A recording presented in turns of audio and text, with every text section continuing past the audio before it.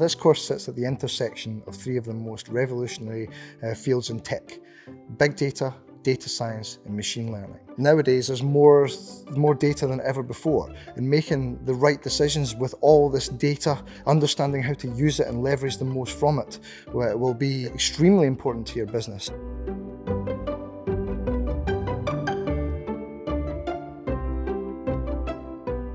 So professionals will learn uh, on the course how to uh, use real-world data in a real-world setting. You'll learn some hands-on experience of things like uh, SQL and a data warehouse, how to get data, how to understand the data, how to collate the data, uh, how to analyze the data using Python and Jupyter notebooks, make visualizations so you can make great decisions and use those outcomes in order to leverage the power of machine learning to help understand that data.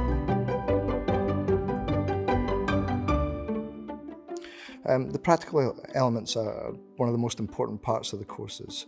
Uh, I feel that if they're able to understand how the data should fit into a problem and then also understand how to iterate and analyse that data and use that data, they'll be able to get things done a lot more quickly.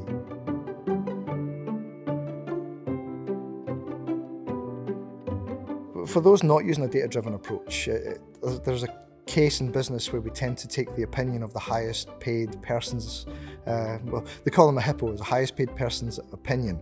Um, and sometimes this isn't the best. In fact, most cases this isn't the, the, best way to do things because the data is irrefutable, if the data is correct, of course. Uh, what professionals will learn is how to leverage this data uh, to make better data-driven decisions in order to improve productivity and profitability in a company.